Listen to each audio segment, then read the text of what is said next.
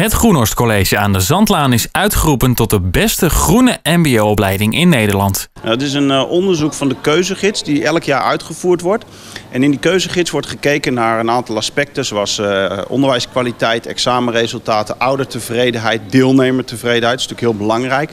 En arbeidsmarktperspectief. En daar scoren we nu uh, voor het tweede achtereenvolgende jaar als AOC Groenhorst de beste. De directeur legt uit hoe dat is gekomen. Wat je ziet is dat vooral de wat kleinschalige mbo's in Nederland het erg goed doen. En in het uh, groene onderwijs zijn dat over het algemeen wat kleinschalige, kleinschalige opleidingen. Tweede is dat we heel nauw samenwerken met het bedrijfsleven.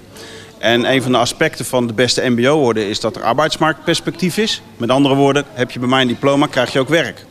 Derde wat heel belangrijk is, is dat we hem hebben gekregen als heel Groenhorst. Dat zijn elf vestigingen, waarvan er acht vestigingen mbo zijn. En ik er daar onder andere een van hier in Ede heb.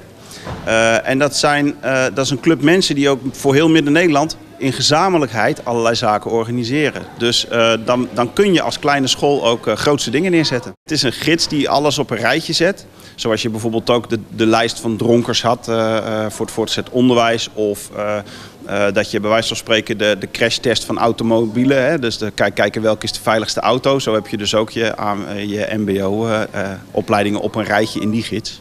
Je ziet dat uh, steeds vaker scholen langs elkaar gelegd worden uh, door uh, gidsen of websites. Bijvoorbeeld het VMBO op schoolkompas. Daar kun je heel goed zien hoe dat de regionale VMBO-scholen het doen, maar ook het voortgezet onderwijs.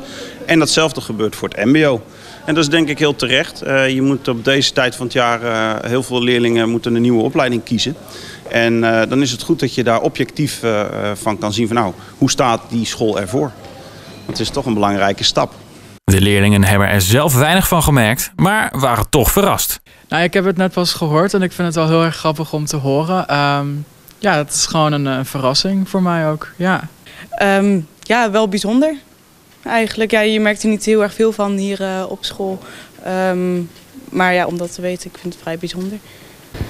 Bijzonder? Ja. Ja, ik vind het dus wel knap. Ik heb uh, volgend jaar een paar hele mooie dingen op het programma staan. We hebben onze vernieuwde opleiding Food. Daar komen de eerste aanmeldingen voor binnen. Dat is erg vroeg, dus ik uh, denk dat we daar zeker een mooie klas van vol krijgen. En we hebben een opleiding toegepaste biologie die het zeker in deze Food Valley regio heel goed gaat doen als het gaat om arbeidsmarktperspectief. En ook die opleidingen wil ik weer vooraan in die gids hebben staan. Er werd door de leerlingen verschillend gedacht over de titel. Het enige wat ik kan zeggen is dat ik het hier heel erg leuk vind. En, uh, en leerzaam en gezellig. weinig van gemerkt.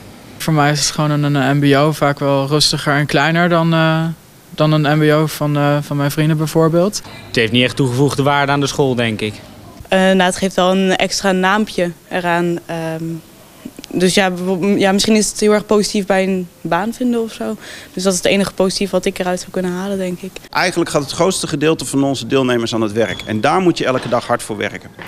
Uh, uh, dat er dan zo'n in zo'n keuzegids een mooie score uitrolt, daar ben ik heel erg blij mee. Maar het doel is deelnemers goed op de arbeidsmarkt neerzetten. Het zou wel fijn zijn als, als bedrijf dat ook uh, meenemen.